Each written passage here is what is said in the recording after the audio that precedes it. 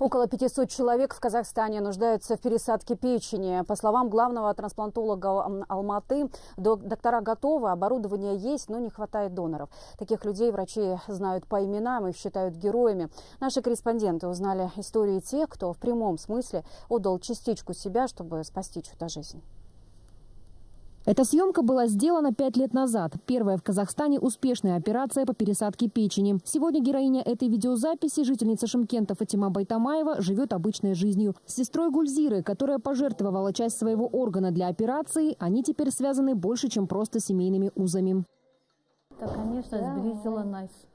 Не только нас вдвоем, а всю семью нашу. Не было страшно. Главное знать, что это вылечится. Таких историй десятки. За пять лет с момента первой успешной операции к жизни удалось вернуть 183 человека. 80% из них получили здоровый орган от членов семьи. Чаще всего на операцию по пересадке решаются сестры и сыновья пациентов. В случае маленькой Ксюши на помощь пришел отец.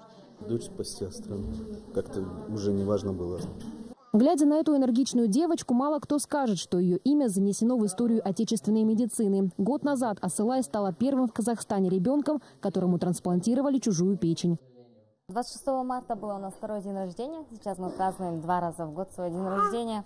А, благодаря донору и нашим врачам с каждым годом число желающих стать донором постепенно растет, но все же их недостаточно, чтобы спасти всех, кто страдает циррозом печени. Сегодня в Казахстане 500 человек ожидают своей очереди на орган. Ежегодно до операции не доживают 20-30% больных. В центре Сызганова считают, чтобы решить проблему, в идеале каждый человек должен рассматривать возможность того, чтобы в будущем стать для кого-то донором.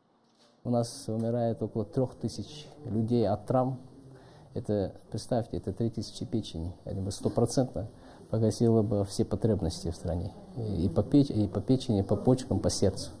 То есть люди у нас, команды, врачи готовы делать эту сложнейшую операцию на достаточно высоком уровне. Всех, кто за последние пять лет добровольно пожертвовал часть печени больному, сегодня в Алматы наградили медалями за неоценимый вклад в продление жизни человека. Полина Чехичина, Мухит Кудыкбаев, Алматы, Хабар, 24.